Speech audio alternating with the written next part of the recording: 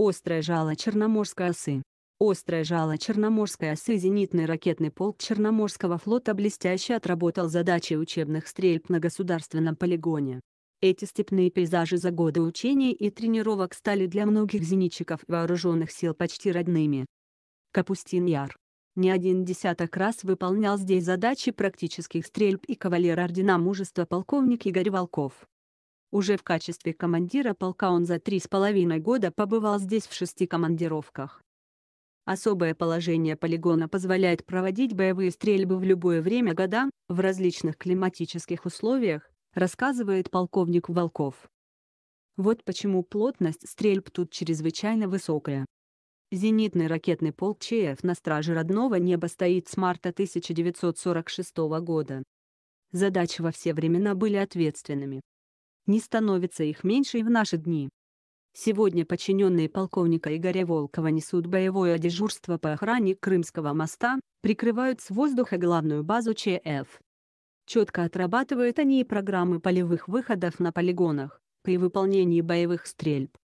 Точка вспоминая Капустин-Яр, дни минувшего учения, зенитчики прежде всего отмечают сложные климатические и природные условия, въедливая пыль, раскаленная под жгучим солнцем степь, Столбик термометра подбирался к отметке 45 градусов.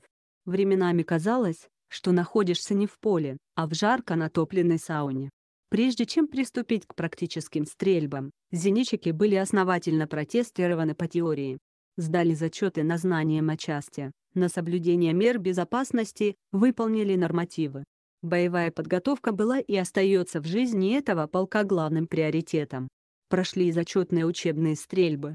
Они, как предписано программой, выполняются в разное время суток, как днем, так и ночью. На стартовые позиции выдвинулись в 4 часа утра. Зенитные ракетные комплексы плюс транспортно-заряжающие машины. Зачетные учебные стрельбы выполняются по тематике отражения авианалетов. Для этого нужно своевременно обнаружить цели, взять их на сопровождение, после чего условно поразить. Все это было лишь прелюдией к главному экзамену, нанесению ударов ракетами ЗРК ОСА по воздушным мишеням, обозначенным ракетами «Саман». Кроме того, нужно было уничтожить цели из ПЗРК «Игла», обеспечив тем самым защиту своих ЗРК. То есть экзамен этот еще и потому сложный, что комплексный. Но черноморцы всегда проходили испытания копяром успешно, и это стало уже традицией.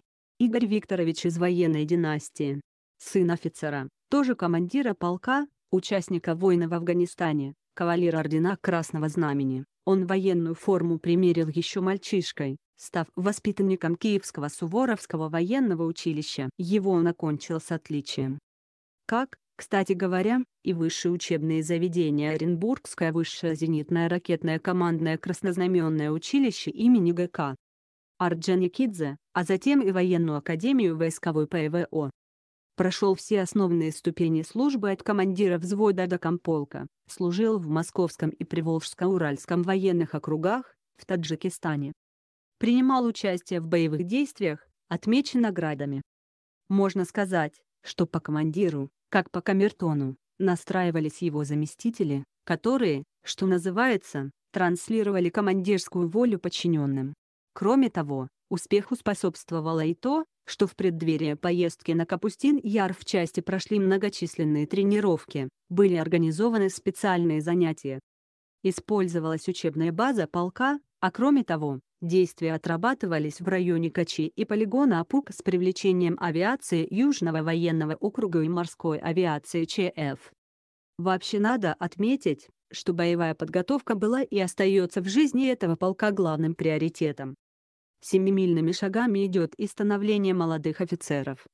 Даже малейшим сомнениям не подвергаются здесь жесткие требования командира, они основаны на его глубочайших знаниях и опыте.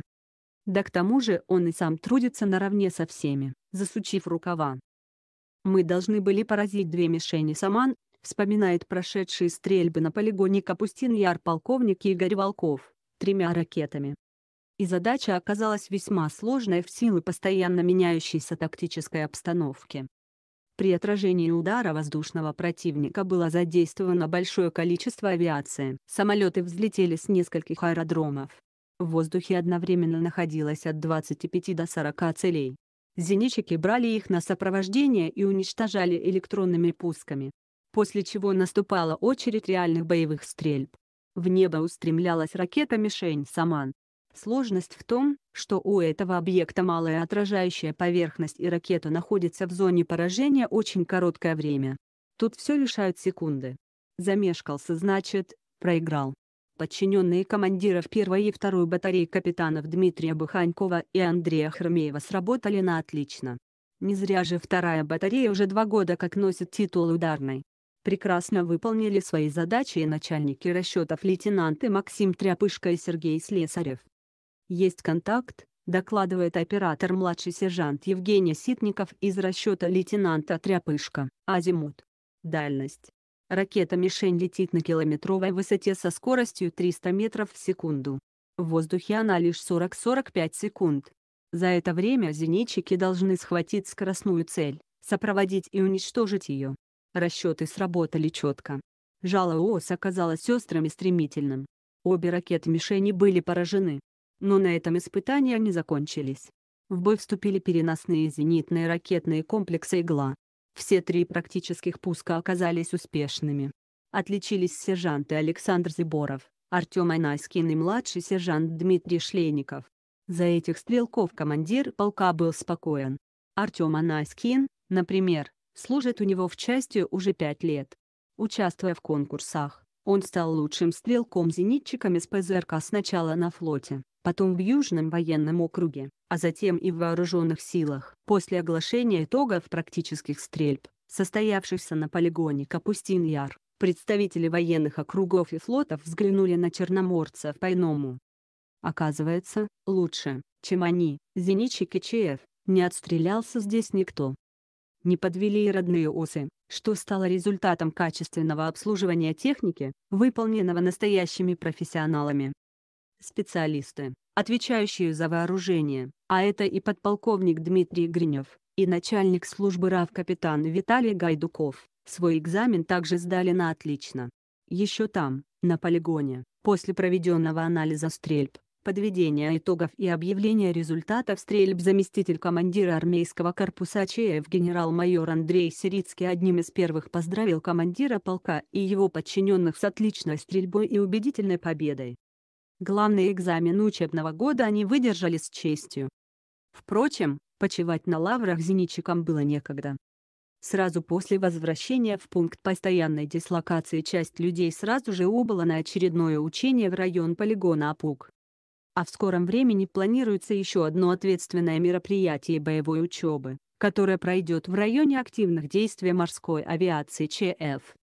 Владимир Посякин